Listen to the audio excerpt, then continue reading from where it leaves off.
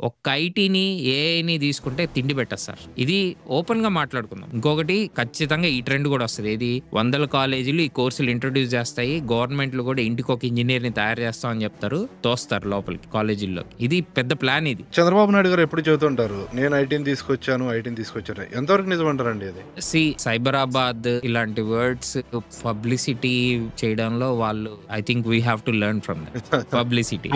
Reality ఏంటి అని చూసినప్పుడు ఖచ్చితంగా మీరు ఒకసారి హైదరాబాద్ చరిత్ర తీసుకుంటే అందరికీ తెలుస్తుంది.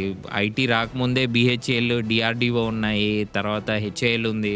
Lot of pharma industry was already there nineteen ninety ఎయిట్లో అనుకుంటా మొత్తానికి హైటెక్ సిటీ సమ్వేర్ అరౌండ్ ఈ మొత్తం హైప్ క్రియేట్ చేసింది ఆటే యాక్చువల్గా దానికి ముందు కూడా we had good number of companies nineteen nineties నుంచే మనకు మంచి కంపెనీస్ కూడా ఉన్నాయి.